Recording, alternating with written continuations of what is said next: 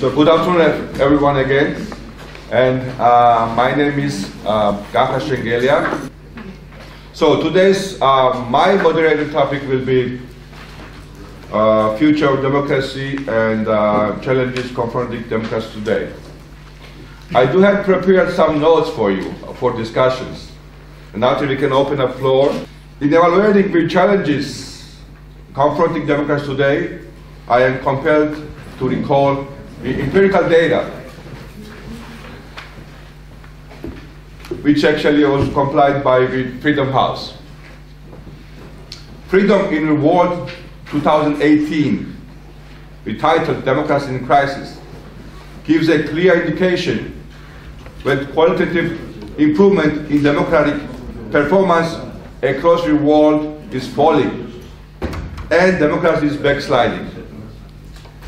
We have known this for over a decade now, and data shows that guarantees of free and fair elections, the rights of minorities, freedom and press, and the rule of law come under serious attack around the world.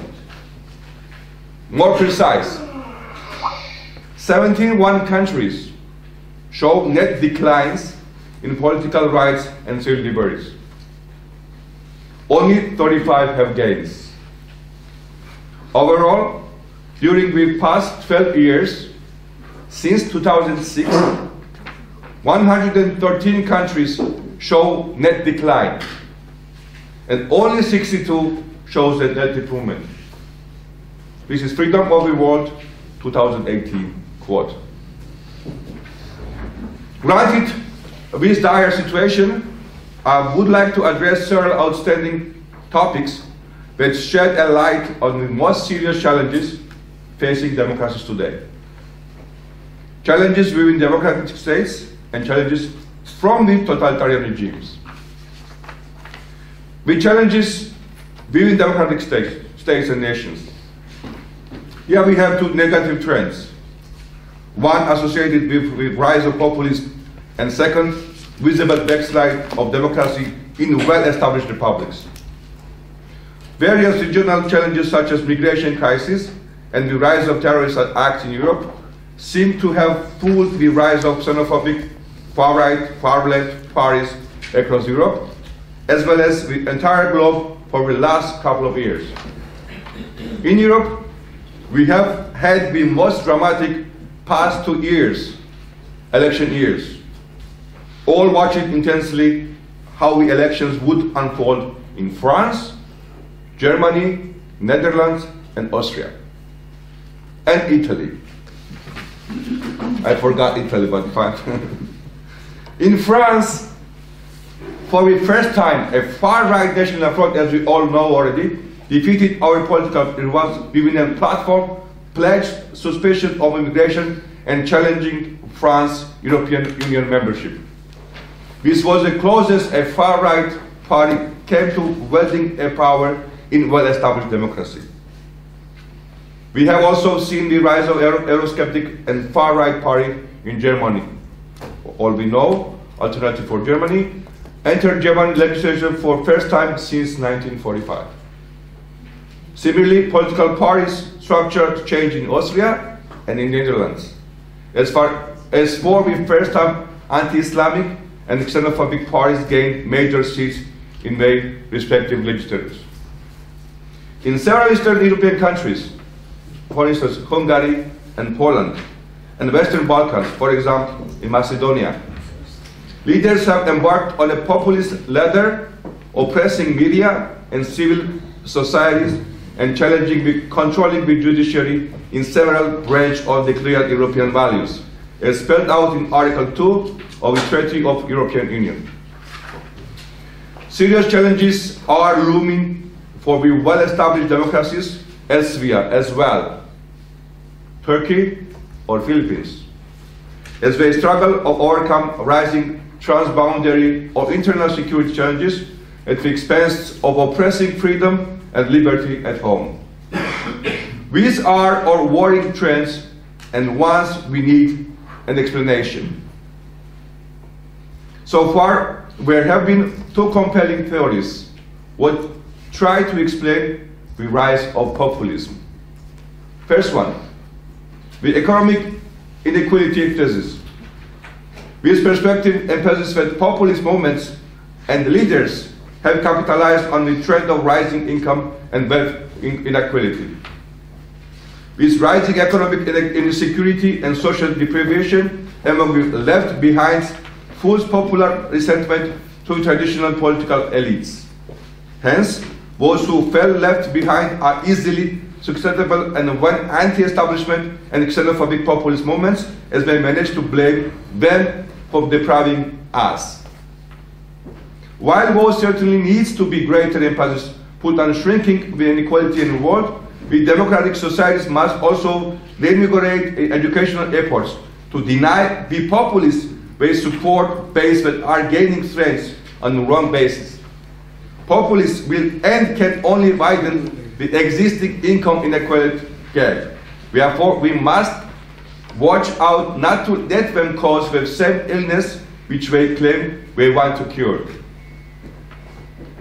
Second major theory, which attempts to explain recurrent global rise of populism as a cultural backlash thesis. This thesis suggests that populist votes can be explained as a reaction against progressive cultural change. According to this theory, while Western countries are experiencing a shift towards materialistic values, cosmopolitanism, multiculturalism, green movements, gender and human rights in general. However, this shift has also encountered a counter-revolutionary retro backlash. Among the older generation who actively reject these progressive values and move to support populist voters who attack modern value systems.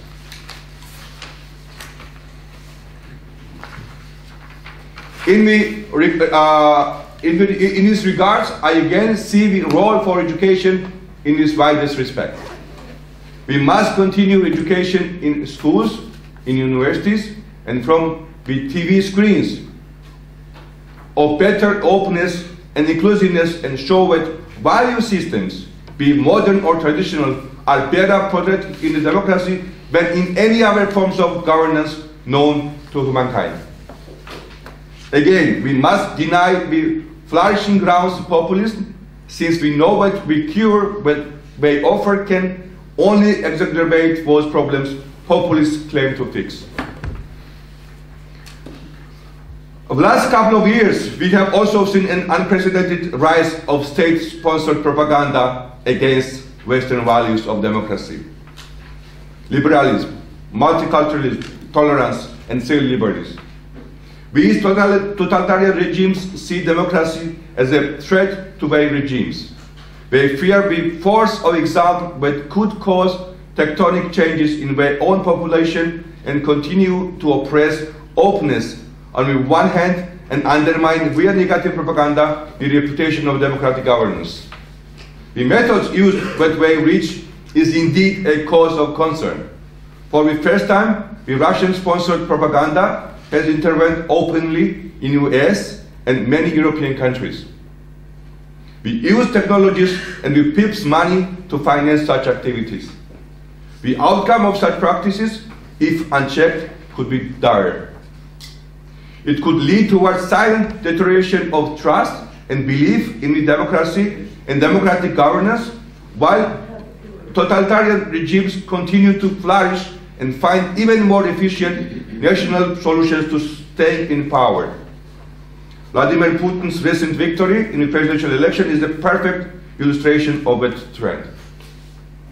We must especially watch out for the domination of media outlets and pre preclude them from becoming propaganda mouthpieces.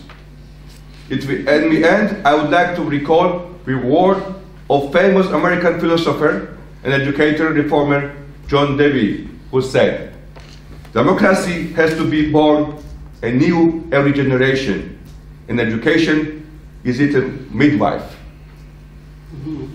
I believe, given the growing challenges that democracy has faced in this last decade, it, it is time to give birth to a new generation of liberal thinkers who can deliver us from populist irrationality, and inevitability miss. Certainly, education is the medium that is best suited to facilitate this result. Thank you very much for your attention.